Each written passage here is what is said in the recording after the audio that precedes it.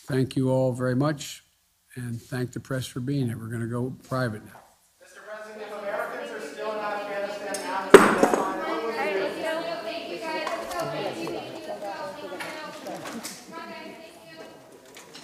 Sir, what will you do if Americans are still there after the deadline?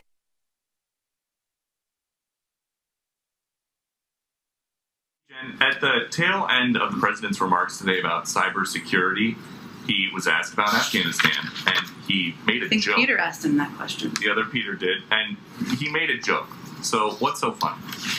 Well, I think the question he was asked, if I remember correctly, was about uh, when he will provide information about a decision on August 31st. I don't want to paraphrase the question if that was an inaccurate description of the question. To a lot of. Of course, it's a very important question, and I think what he conveyed, uh, what is that um, he has not. Well, what I can convey from here, I should say, is that uh, as he stated yesterday, and as the Secretary of State just stated, we're on track to complete our mission by August 31st.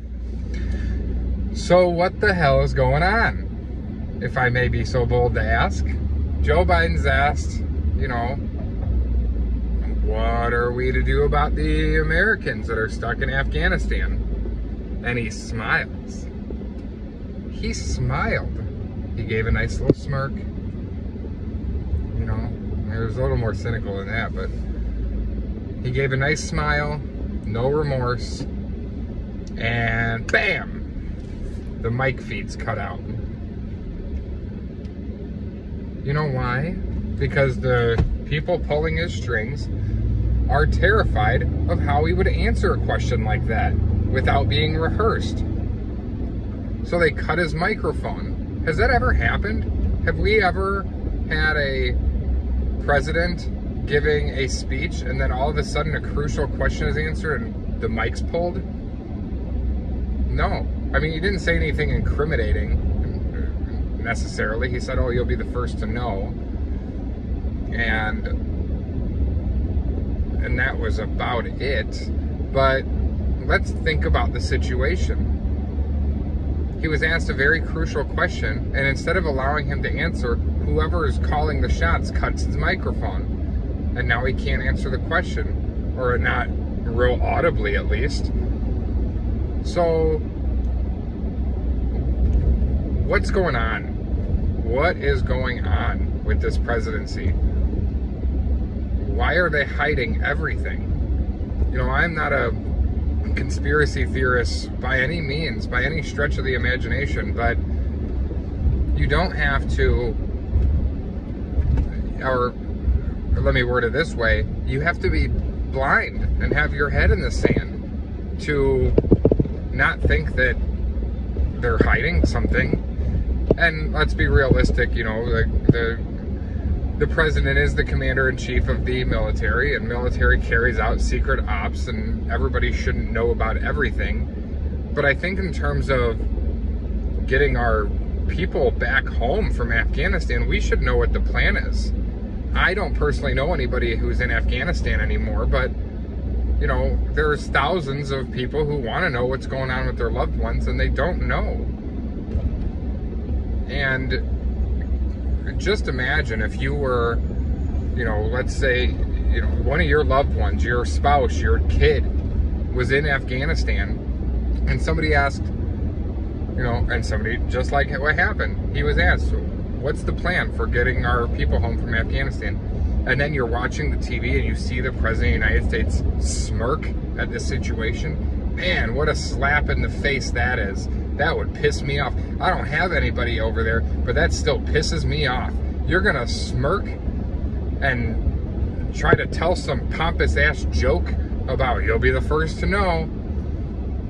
Man, I'd like to slap that guy silly. Let me tell you right now. Oh, that's just. There's something wrong with that, with that. There's something going on that they don't want you to know about. There's some there's some evil evil cynical shit going on. So I don't know. You saw the video. You know, take it as you want to, but to me, it just looks pompous and evil and or he doesn't know what the hell's going on. So they don't want him to answer the question wrong necessarily, so they cut his microphone. It's the president of the United States. He's the most powerful man in the world. You know, if that was Donald Trump and he knew and he realized somebody cut his microphone, he'd be going backstage and finding out, hey, turn my mic back on. I got things to say. Or he'd just talk louder. Well, nobody talks louder than Donald Trump. So, but, you know, it's not the same. You know, you know, Joe Biden in charge is an absolute joke. And everyone's talking about impeach, impeach, impeach. Well, not everyone. Some people. If everyone was talking about it, it would start to happen. But part of me feels like this whole debacle, part of me feels like this is part of the plan. You know, I